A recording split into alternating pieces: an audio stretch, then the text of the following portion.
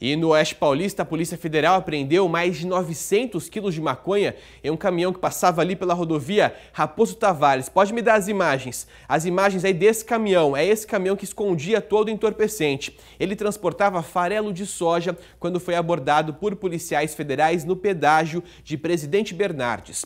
Os tabletes de maconha estavam escondidos no fundo falso da carroceria. O veículo teve que ser levado para o pátio da Prudenco para poder retirar toda a carga e também a droga. Os policiais contaram com a ajuda de máquinas e funcionários para descarregar todos os tabletes de maconha, uma grande quantia, quase uma tonelada de maconha. Informação privilegiada que a inteligência da PF já tinha para fazer a abordagem nesse caminhão. O motorista e um outro homem, que era o batedor, né, que é aquele que vai na frente para tentar verificar como está todo o cenário, foram presos em flagrante.